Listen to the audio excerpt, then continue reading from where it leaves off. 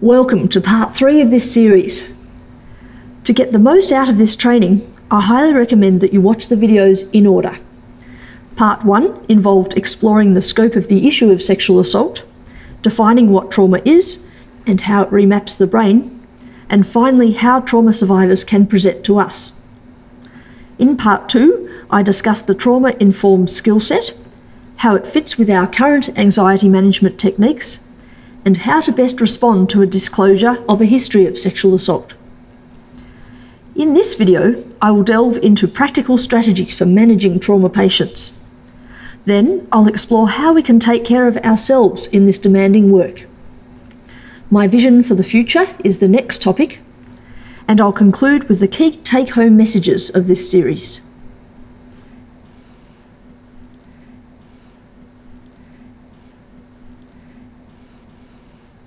Let's begin with the practical application of all the theory I've covered. These approaches are applicable to patients with a history of all kinds of trauma and to anxious and phobic patients in general. Some tips are especially geared to sexual assault survivors. I have drawn these strategies from my own practice, talking with survivor patients, and current research. Not all tools will be applicable to all patients. Everybody is different, and people like to engage with us in various ways. Choose what works best for your unique situations. Let's break down the entire patient experience and discuss each stage in detail. Firstly, before appointments. For booking new patients, reception can ask the patient if they have a preference for either a female or male dentist and book them accordingly. Avoid booking the initial appointment for a known trauma survivor in a rushed emergency slot or anywhere you are very pressured for time. The exception would be if they have an emergency. Train all staff to be trauma informed. If a known survivor is coming in, have a team huddle and prepare everyone to make their best effort. Consider a general screening question on your new patient form, like is there anything in your past that might make a difference to how your dental care is provided? Or even just things you want us to know? These questions leave it open for patients to choose what they want to say. This screening question is ideally in addition to asking about any previous bad dental experiences. It's best if the form is online or posted to them, as it gives patients more control and time. Know that an emergency appointment will make survivors feel more powerless than treatment that has been planned. Keep in mind that any dental trauma can link straight back to old distress. In fact, it's common for teeth and mucosa to be damaged during sexual assault. For example, one of my patients had a hard object thrown at her by an offender. This decoronated her upper central incisor. Bruising of the palate from forced oral sex in children is also common. For known trauma survivors, here are options that have worked for me for before appointments. Firstly, encourage patients to have a trusted support person with them during the appointment. This is a huge help because they can be a comfort if the patient gets triggered. Patients often don't want to show how vulnerable they are. The support person helps to contain the whole experience. Next, they could bring a comforting object, for example, a stuffed animal or music they love. Provide information about what to expect. A quick familiarisation visit to meet everyone and check out the surgery can be very helpful. Include as much information as you can on your website so people can engage with you. Encourage patients to arrange something lovely and enjoyable after the visit. Encourage patients to practice slow, deep breathing positive self talk, or distraction techniques if they find these helpful ahead of appointments. As the patient walks in, consider things from their perspective. Are the first contacts welcoming, respectful, and engaging? Offer water in the waiting room. This brings patients back into their body out of their worrying head. Have discreet pamphlets or fact sheets about sexual assault and other topics in the waiting room. These should be clearly written and accessible in a variety of formats and languages. Use the waiting room to recognise diversity and make people welcome from all backgrounds. For example, have a sign indicating that this is an inclusive practice and that patient safety comes first. Another way to do this is having information about the white ribbon and other campaigns. Patients seeing the friendly faces of all staff is very helpful.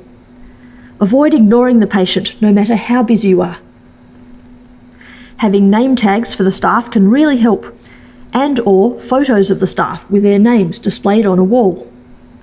This helps survivors identify and become familiar with the staff, which reduces anxiety. Ideally, avoid keeping the patient waiting for a long time. Consider the waiting room and reception areas from a survivor's perspective. Are they inviting, comfortable, quiet, separate from surgery sounds, and full of interesting content and distractions? Be aware of strong odours such as air fresheners or floral arrangements. The critical thing here is to vary the smells so one doesn't become associated in the patient's mind with your surgery. This may trigger traumatic memories from childhood whenever they smell it, despite it being nothing to do with you personally. This applies to how you smell as well, for example, regarding deodorant.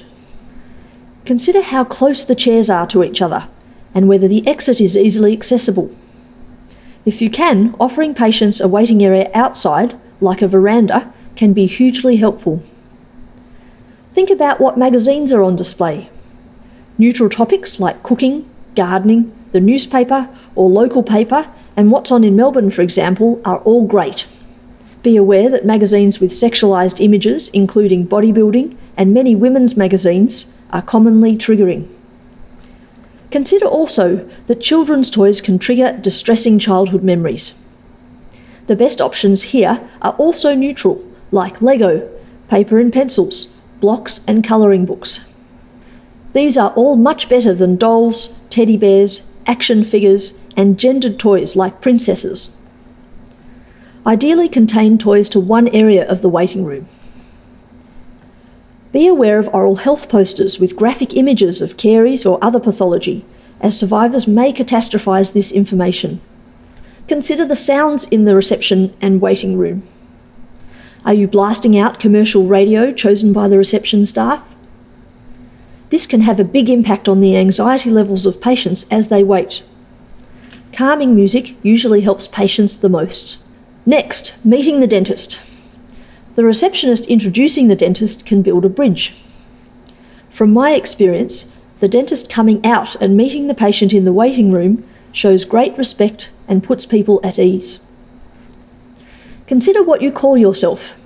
Your first name generally feels much better for survivors than the more distant and clinical doctor and your surname. Avoid using personal pronouns, just the patient's preferred name. For new patients, given we most likely won't know their history, shake their hand, ideally avoiding touching their shoulder or the double handshake. To get the open communication going straight away, you can ask the patient how they prefer to be greeted in future and follow this. Consider who walks first when going into the surgery. Patient preferences will vary depending on their past experiences. If you are not sure, have the survivor walk in front of the dentist, but see what feels right for each individual patient. Consider having a small memento or photo of something personal that patients see as they pass. This encourages a safe but personal topic for discussion. For example, is that you hiking? I love to travel. Do you play the piano? I play guitar. What kind of music do you like? We are about to learn very personal things about the patient in the surgery, and this exchange evens up the balance. Now to during appointments. Consider the five S's of the surgery and environment. I have broken this down into sights, smells, sounds, sensations, and services. Firstly, sights. Sit alongside the patient, don't stand over them, give power back. Avoid hovering over the patient when you are sitting or working. Remove your loupes and mask for all conversations. Take the instruments out of view or tray off so the patient is not seeing blood and gore when they sit up. Maximise daylight in the surgery. Have ceiling distractions. Ideally, these are not too challenging and engage creativity. Things that capture the patient's attention and occupy them. Provide other distractions like colourful prints, a TV, fish tank, and more. Check what the preferred door position is, and if you are unsure, leave it open. This leads to reduced stress and greater safety, as some patients may feel less trapped. Smells. Ideally, have no smell in the surgery. Keep it neutral. Avoid aftershave and perfume as they can trigger memories. If the smell of latex is an issue for a patient, use nitrile or vinyl gloves. There are some that are comfortable. Sounds. Avoid speaking loudly and quickly as it's intimidating and frightening. Speech is ideally slow and calm. Minimise unpleasant noises as much as you can, as survivors are more sensitive. Noise cancelling headphones designed for dentistry are on their way. Research confirms that music reduces pain in dental appointments and releases dopamine. The patient can bring their own headphones in for infection control, and we can offer a music menu. Encourage survivors to bring in their favourite music, for example on their iPod or phone if they like. Have a quiet room as part of the practice. This can be an area for private discussions. Patients can take time out there before and after treatment, reducing anxiety. Now onto sensations.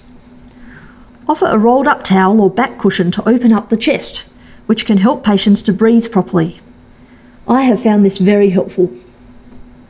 Be gentle. Avoid quick movements and ask permission before touching. Ensure all touch is respectful, gentle, and purposeful. Offer patients objects with interesting textures to hold.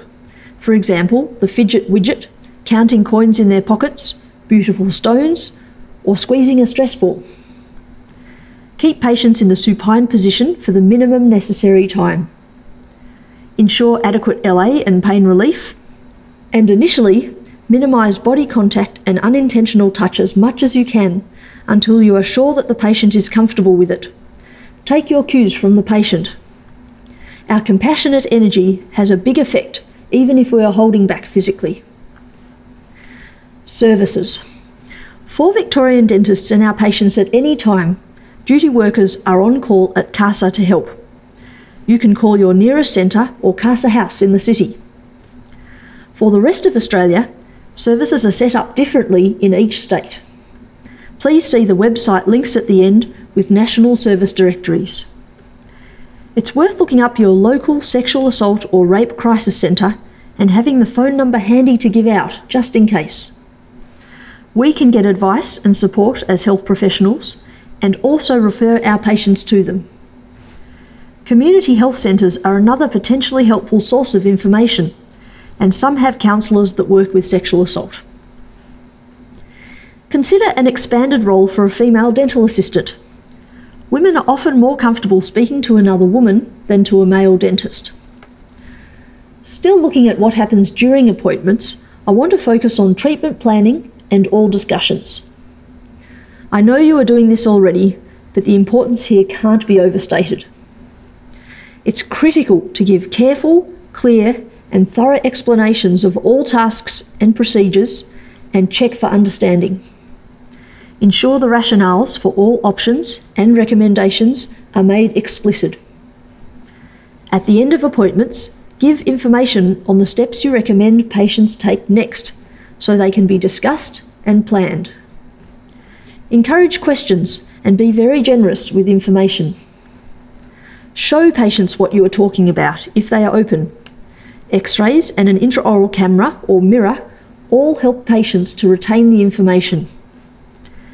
For when you discuss home care, I have found the electric brush, air flosser, and other devices very helpful due to their novelty effect. It seems psychologically easier and more fun for survivor patients who are very commonly blocked about flossing. Tell people how long it will take and break procedures up to suit the patient. Allow the patient to set the agenda for the first part of the appointment. Give patients your full, relaxed, and unhurried attention. This is of the utmost importance. In my experience, it is usually in these spaces that patients open up, especially when coupled with empathy. Tears can be released and sensitive information can come out that is often critical for the care of that patient. For example, their deep fears and hopes. This space allows a deeper connection and results in a much better quality of care. From my experience, it really helps to explain to the patient that consultation fees are fixed and extra talking won't add to their bill. Validate all concerns as normal following trauma, no matter what they are, and especially if the patient says they're stupid or crazy. The informed consent process for survivors involves careful consideration. Mutually agreed upon treatment plans are essential. Remember that the fight flight mode most patients are in hijacks the thinking brain. Please see part 1 in this series. Thus, it is only possible for patients to make decisions once their arousal level is in a window where they can actually think. You may need to reassure the patient and wait for them to become calm before making treatment decisions together. Some patients may not be able to make a decision at that time and may need to take written information home and review it with you later. Providing written resources, both in paper form and ideally on your website, is invaluable and helps to give patients back control. Assume they are not listening fully as they are so nervous. This is especially relevant for the patients who dissociate. Know that they can't take it in. This is another benefit of having a support person present as they can listen and remember what you say for later. Comprehensive information about various topics can include the pros, cons, and logistics of procedures, and links to further resources online. These all really help to educate patients and empower them. Avoid asking about sexual assault directly. Ask open, general questions. For example, are there any parts of dental treatment that are particularly difficult for you? Is there anything we can do to help you feel more comfortable? Really listening is key. Find out the patient's motivations, hopes, dental IQ, what inspires them in general, and where they're coming from. Speak to their interests rather than overloading them with information to educate or sound interesting to them. We shouldn't be doing most of the talking. Slow things down and take the necessary time.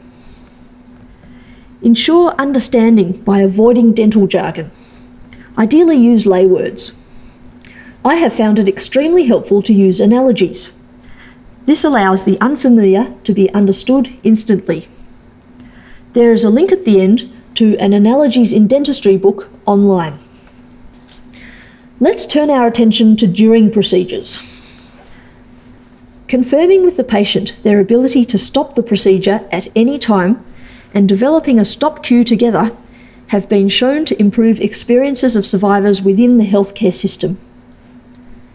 Please be aware that some patients are not great at this, so you just can't hand over responsibility for stopping.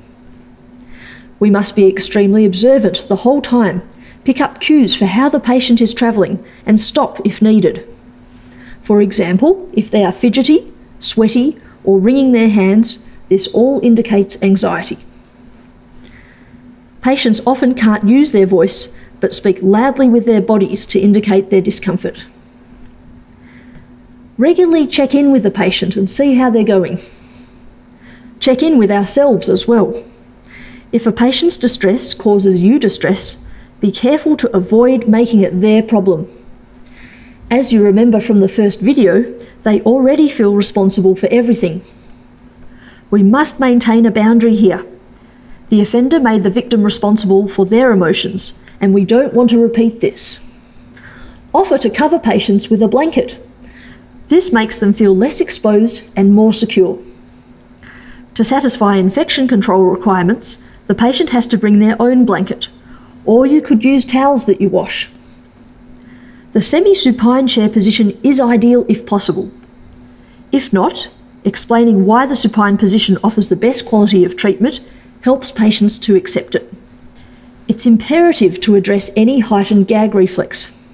For example, with distraction, breathing techniques, decongestant spray, rubber dam, salt on the tongue, having patients insert things like x rays themselves, and more.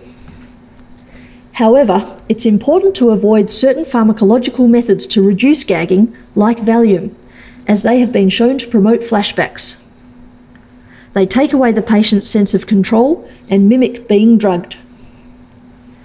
For some patients, allowing them to monitor the procedure in the mirror or with an intraoral camera works to increase their feeling of safety. Give advance warnings of any potential pain. Avoid encouraging patients to be stoic martyrs. Encourage the patient to do whatever they can to be the most comfortable wherever possible. For example, keeping their coat on and the preferred door and chair positions where possible. Remind patients to breathe and help them through any panic and anxiety with sensitivity. Avoid talking to the assistant about something unrelated and ignoring the patient or talking over them. However, if the patient is keen, chattering away about an area of interest to them can help distract them, but they must be included in the conversation. Ask the patient about dissociation and whether it's a positive, happy place you can leave them to enjoy or a fear based reaction that creates distress for them. They may have no control over whether it happens. If a patient is dissociating and they seem distressed or want you to help them avoid this, speak to them softly, ask them how they are going, and remind them where they are to bring them back to the present. Remain calm, be very gentle and patient. Offer them a glass of water, as this helps bring them back into their body. Explanations and reassurance help allay the fears that lead to dissociation in the first place. Note that anxiety related to dissociation is very common just before or straight after sedation or general anaesthetic. Returning to consciousness is a common trigger for memories, as both dissociation and being drugged can happen as part of sexual assault. Therefore, as patients come out of GA or sedation, they can become very distressed and be unable to articulate why. Continuing tips for procedures negotiate the chair angle or proceed in small increments. Tell patients how much longer things will take so they can track procedures. Emotions only become intolerable because it feels like they will never end. Validate the patient's courage and energy. This motivates people, unlike the old judgmental approach. Positivity and warmth in the surgery helps to minimise avoidance behaviour and late cancellations. Offer patients choices as much as possible, however tiny they may be. For example, what sunglasses they prefer.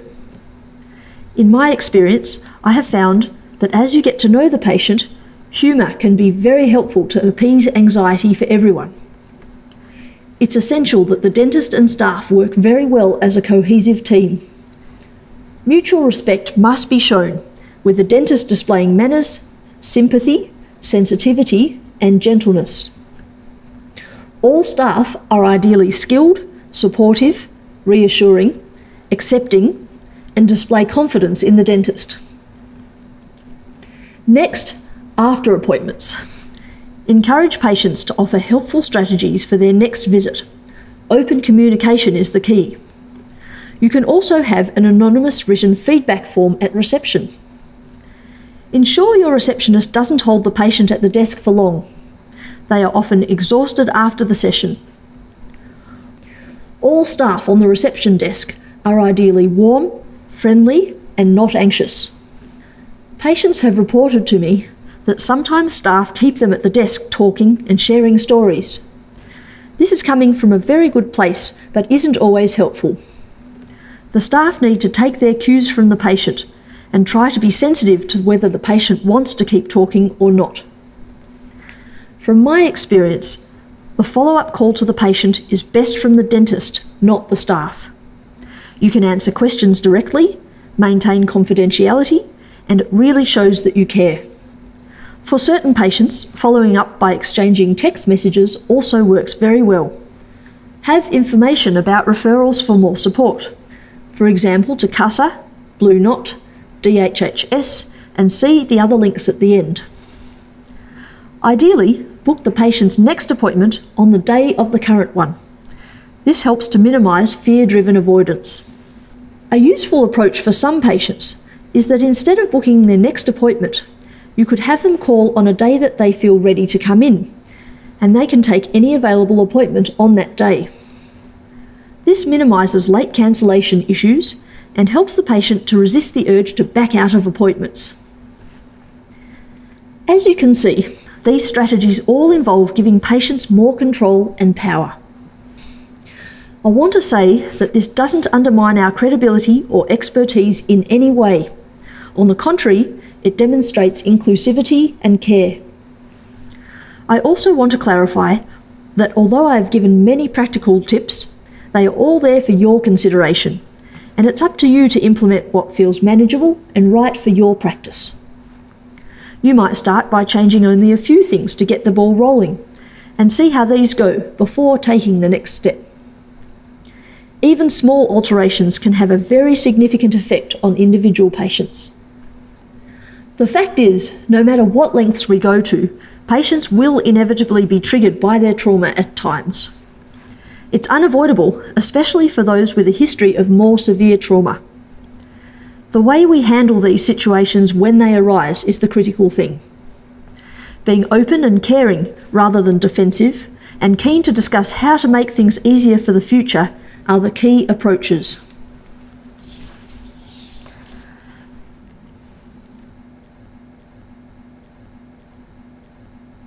Let's turn our attention from helping our patients to strategies to help us cope as dentists. We need support from the outside too. Trauma survivors are some of our most complex and challenging patients. From my experience, this is highly demanding and rewarding work. We are fully engaged on all levels and giving very high quality attention and energy over long periods. This work can be very draining emotionally, physically, and psychologically, especially if the dentist is a trauma survivor themselves. We must be on the lookout to prevent and recognise vicarious trauma. This is a psychological term referring to changes in a person that can occur when they are repeatedly exposed to traumatic material. It's also known as when the work gets inside you. Vicarious trauma is a normal response to repeated exposure to trauma, not a weakness or failure of an individual. We as dentists endure repeated exposures to anxiety and constantly use our empathy as a tool to help patients. This involves accessing our own dark emotions very regularly so we can relate. Vicarious trauma can manifest as short term reactions or long term effects. For example, intrusive reactions like obsessive thoughts, nightmares, and ruminations on an issue. Or hyperarousal reactions like hypervigilance, control issues, and difficulty concentrating. Other common indicators to look out for include fatigue, anxiety, depression, an impaired immune system, sleep and appetite disturbances, low self esteem, loss of interest in work, having no time or energy for yourself or others, disruptions to relationships, and feeling a profound lack of trust in other people and the world. Research shows that the level of vicarious trauma is directly related to the level of exposure to trauma. For example, the number of hours per week working with traumatised patients. Prioritising self care can both regulate stress and help develop the ability and strength to cope. Types of self care include physical resources, as in using the body and senses, social and recreational resources, which involve connecting to friends, family, or creative activities as outlets. Cognitive options include changing how we think about things. Spiritual resources include religious beliefs and spirituality. And finally, verbal self care resources involve putting the intense emotions that we feel into words, such as journaling or stand up comedy. Self care strategies include maintaining interests and connections with people that are completely separate to work. For example, I love playing music and bushwalking with friends. Taking breaks at and from work and getting good at recognising when you need these is critical. Other ways to look after ourselves include debriefing, giving and accepting support and positive feedback, body care with sleep and physical activities like exercise, mindfulness, and my personal favourite, humour. The issue of vicarious trauma is not about the resilience of a particular individual. Vicarious trauma happens at work, so for success, we must think about how work is set up.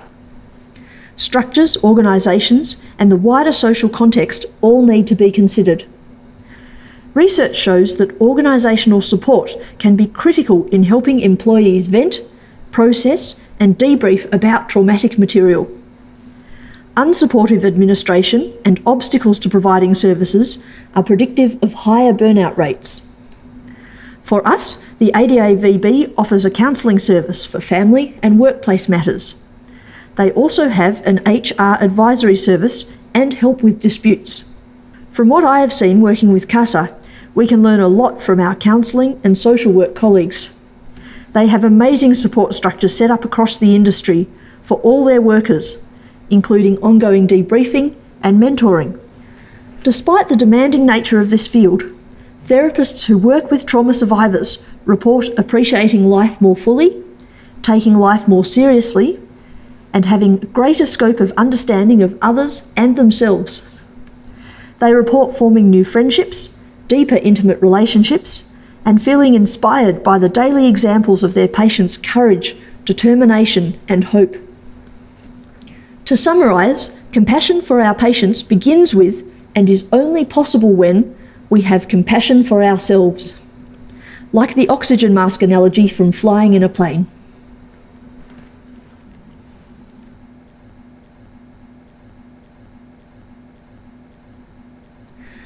Trauma is an issue of profound social and political importance, affecting not only individuals but whole communities.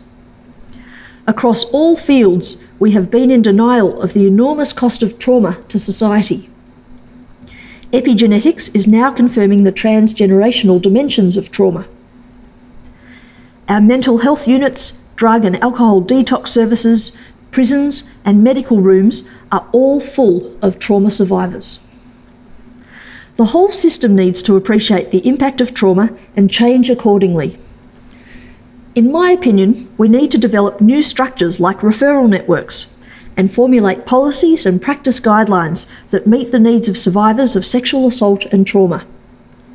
We need to develop more educational tools for both providers and survivors. The curricula of all healthcare providers should be re-evaluated to ensure the care of survivors is addressed we need to shift the basic questions we ask and the focus on how trauma continues to impact the survivor today. Techniques for patients are only a part of what needs to happen.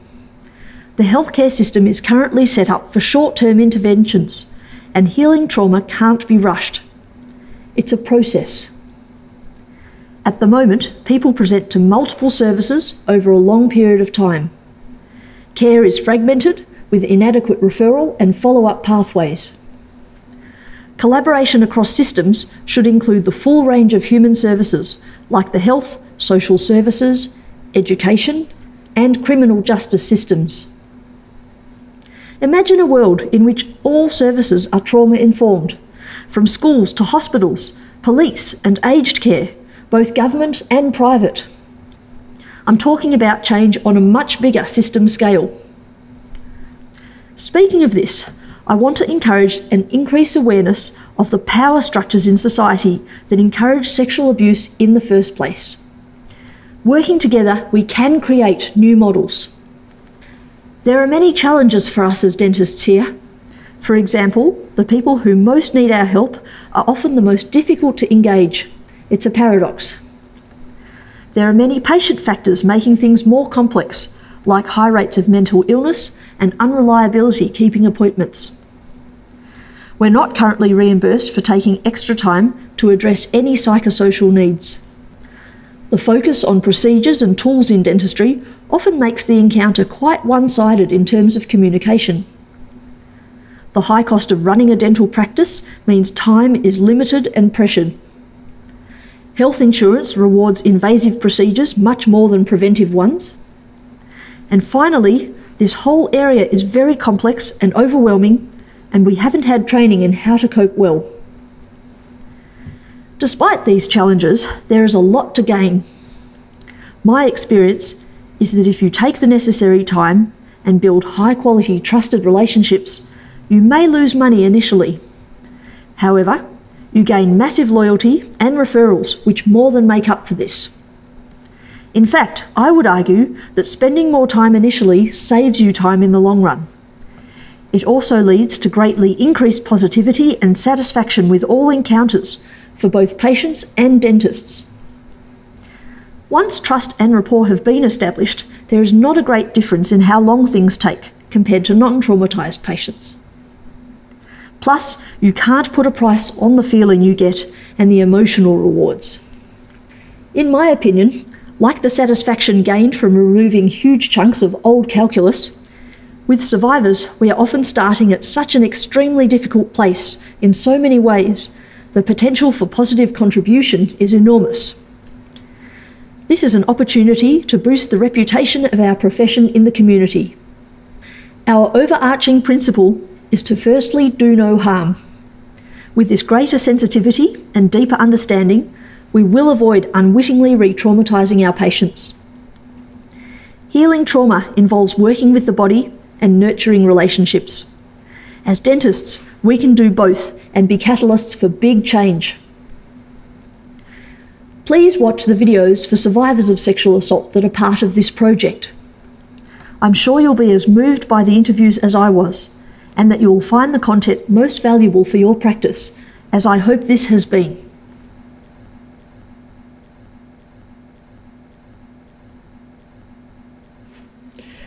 As dentists, we are leaders and authority figures.